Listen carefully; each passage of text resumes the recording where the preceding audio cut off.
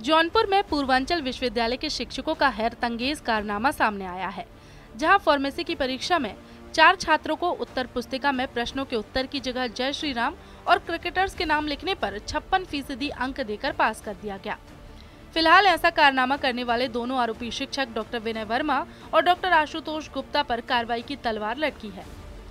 दरअसल वीर बहादुर सिंह पूर्वांचल विश्वविद्यालय में संचालित डी फार्मा के पहले और दूसरे सेमेस्टर के छात्रों को उत्तर पुस्तिका में प्रश्नों के उत्तर की जगह जय श्री राम और क्रिकेटर्स के नाम लिखने पर पास कर दिया गया।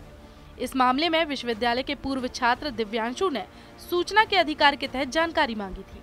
पूर्व छात्र दिव्यांशु द्वारा 3 अगस्त 2023 को डी फार्मा प्रथम सेमेस्टर के 18 छात्रों के रोल नंबर उपलब्ध कराते हुए उनकी उत्तर पुस्तिकाओं के पुनर्मूल्यांकन की मांग की थी इसके बाद विश्वविद्यालय द्वारा अंठावन उत्तर पुस्तिकाओं की प्रति उपलब्ध कराने को कहा गया था, लेकिन केवल बयालीस उत्तर पुस्तिकाओं की प्रति उपलब्ध कराई गई सूचना के अधिकार के तहत मांगी गई जानकारी के जवाब में छात्र को जो उत्तर पुस्तिकाओं की प्रतियाँ उपलब्ध कराई गई उस कॉपी में छात्र ने लिखा था, जय श्री राम पास हो जाएँ।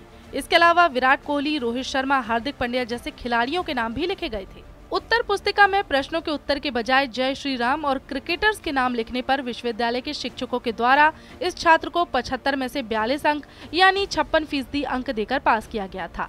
पूर्व छात्र दिव्यांशु ने शपथ पत्र के साथ राजभवन में शिकायत की थी। शिकायती पत्र में आरोप है कि पैसे लेकर छात्रों को पास कर दिया गया था। राजभवन द्वारा शिकायत को संज्ञान में लेते हुए 21 दिसंबर 2023 को जाँच कर कार्रवाई का आदेश दिया गया था। पूर्वांचल विश्वविद्यालय की कुलपति ने कहा, जय श्री राम वाली कॉपी मैंने नहीं देखी। कल एक ही कॉपी देखी थी, जिसमें हैंड राइटिंग समझ में नहीं आ रही थी। कुछ ऐसा नहीं लिखा गया था जिस पर अंक दिए जा सके। डॉक्टर विनय वर्मा और डॉक्टर मनीष गुप्ता दोषी पाए गए हैं। आचार संहिता के बाद एग्जीक्यूटिव काउंसिल का जो निर्णय होगा, उसके अनुसार कार्रवाई की जाएगी। नहीं अब जय श्री राम वाली कॉपी तो मेरे उसमें नहीं आई है। एक कॉपी मैंने देखी थी कल परीक्षा समिति में। उसमें कोई जय श्री राम या टीचर प्लेयर्स का नाम नहीं था। लेकिन उसमें जो लिखा था वो बहुत क्लियर नहीं था और कुछ भी ऐसा लिखा नहीं दिख रहा था जिस पे मार्क्स दिए जा सके। दो टीचर इन्वॉल्व पाए गए हैं और ये फार्मेसी संस्थान का क्या नाम है टीचर का? एक का डॉक्टर विनय वर्मा है और दूसरे का मनीष गुप्ता।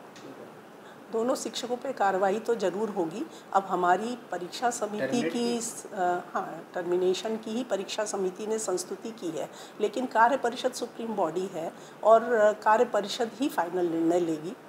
राजभवन के आदेश पर विश्वविद्यालय ने शिकायत की जाँच के लिए एक जाँच कमेटी गठित की। जाँच में जो सामने आया वह सबको हैरान कर दिया। राजभवन को भेजी गई उत्तर पुस्तिकाओं में 80 में से 50 उत्तर पुस्तिका में अधिक अंक दिए गए थे। जब उत्तर पुस्तिकाओं का पुनर्मूल्यांकन कराया गया तो बाह परीक्षकों के द्वारा शून्य अंक प्रदान किए गए। ऐसे में पूर्व छात्र की शिकायत सही पाई गई।